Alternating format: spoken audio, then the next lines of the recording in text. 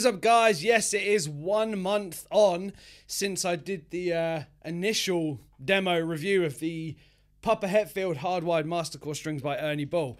And someone left a comment saying, you kind of can't really determine by just playing once. You kind of need to have some time with them. And I thought that's a great idea, my friend. So shout out to you.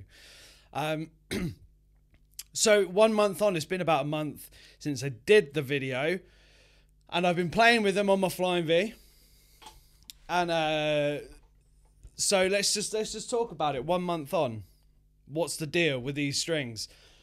Eleven to fifty, James Hetfield signature master cores, and here's what I have to say. So initially, at first, I was like, "Yep, they're cool. You know, they feel good, they sound good." One thing as well, they've held tuning. Like these four weeks, they've just I've really not tuned at all. They've held tuning and they still feel really, really fresh, which is quite surprising because I play quite a lot.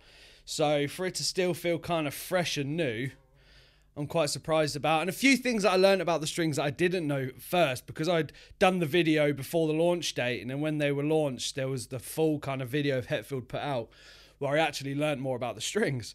Um, and it's all about the core of the strings. And what's really good is the, the, the heavy core. There's kind of you've really got that clarity even with like a 50 on the bottom there's still a lot of clarity. And as i said they still feel really fresh. They hold tune in like a motherfucker as well. Like really like i said never really go out of tune with them. Um, would i again would i use them as my sort of everyday guitar string? Probably not. Uh, i like the power slinkies for my e flat kind of stuff.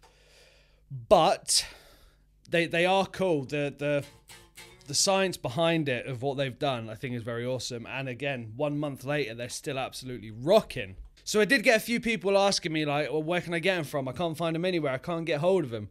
I believe there was only like a limited run of them made, especially in the UK. There was only a certain number of sets that were made of them. So I don't think they're going to be like an ongoing thing. I'm not entirely sure, but I did read in the UK they're quite limited.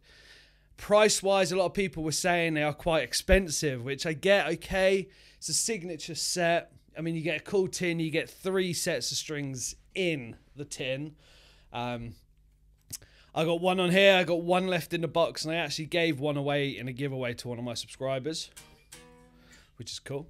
Um, but yeah, again, the price it is it was it is a little bit high. Um, but I mean, there's loads of you that I know. Someone commented he's got like five tins of them which is awesome. But as as they go on their own strings, they are just they are really good. And again, what I've noticed from using them since the first video is what Hetfield says is it makes you work for it because there is that little extra bit of tension, especially in E flat. It does make you work, and I found that every time I picked up this V, it does make me work when it comes to the the gallopy gallopy riffage stuff.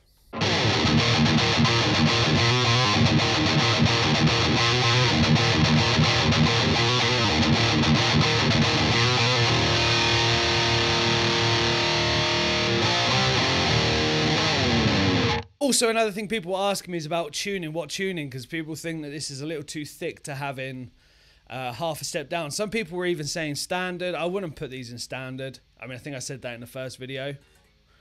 But in E flat, they, there is a little bit of tension there, but it's not too bad. And again, it makes you work. It really makes you dig in and really kind of like go for it, which makes it exciting and fun, especially for me.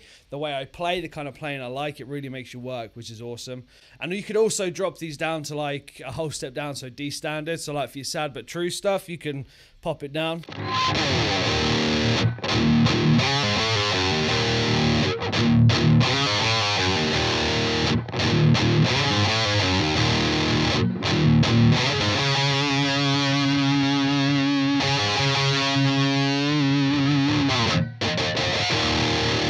I guess Hetfield's covered really with one gauge of string. Um, obviously, unless they do the any of the St. Anger stuff. But for like the normal kind of songs and, you know, sad but true and that, one gauge fits all. Just notice the pick I'm using isn't the pick I wanted. You flimsy fucker. Anyway. But yeah, guys, one month on. So thank you to the guy that mentioned about having some time with it and then making a kind of decision about them. So it's got the durability, it's got the lifespan, shelf life, lifespan, whatever. They last. They hold tuning as well. Again, I've never really gone out of tune. Um, so, one month on, if you are in the market for some Hetfield strings, if you can find them, go for it because they fucking rock.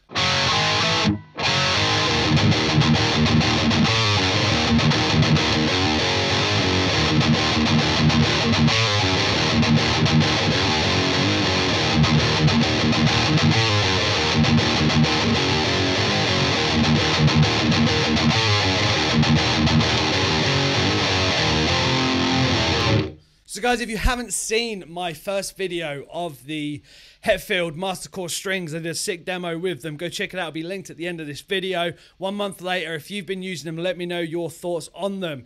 Since you've been using them and since you've been pounding away at them with a heavy, dirty riffage. And if you are new, hit that subscribe button. Come hang out for all things Metallica, all things guitars, all things riffage, all things having a good fucking time. Love Ernie Ball. As always, rock out. Be awesome, guys, and I will see you in the next. See ya!